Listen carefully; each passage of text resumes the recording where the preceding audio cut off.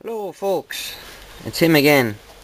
We're back here this time with a little uh, Maxcom 30E uh, UK 2781 40 channel FM rig and uh, funny the things you come across when you're rooting in these radios. Two little boards there, one there, one under there. These are uh, JD Customs uh, boards so we done a bit of playing around with it here just to see what they done. Uh, came here this was working fine to rewire the mic. The battery had been left in it. Always take the batteries out lads when you're not using them. Uh, there's 9 volt battery left in the microphone and it must have been hanging up or something and uh, eventually the battery started to leak and the acid went all the way down through the cord and it ate the uh, the, uh, the the the screen the braid wire. So anyway we got that sorted out and uh, we've done a bit of playing around with it here. We have it hooked up on the, uh, on the TX strip there with the uh, probe for the counter.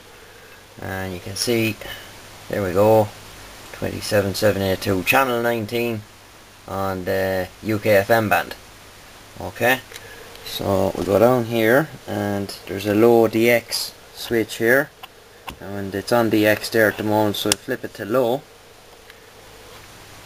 Uh, 27186 it's a little bit off frequency but it doesn't matter so much on AM and FM because it's uh, it doesn't have to be exact but I've tested this and uh, when you flip this switch it goes to 27185 it goes on to the uh, what I call the crazy 40 um, 40 channel AM it's quite a neat little conversion and uh, it works very well.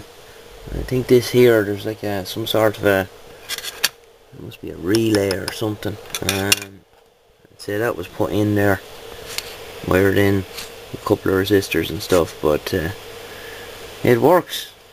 And uh, I was quite amazed so it's on AM there now so I flipped the switch and it goes back to uh, UK 40 FM so just uh, curious the little things you come across but it's a tidy little radio it just needs to be cleaned up and uh, the uh, the cases spread the cases aren't in the best of nick but uh, if they got a shot of paint they'd be 100% uh, again so, not bad. Uh, just uh, amazing the things you find.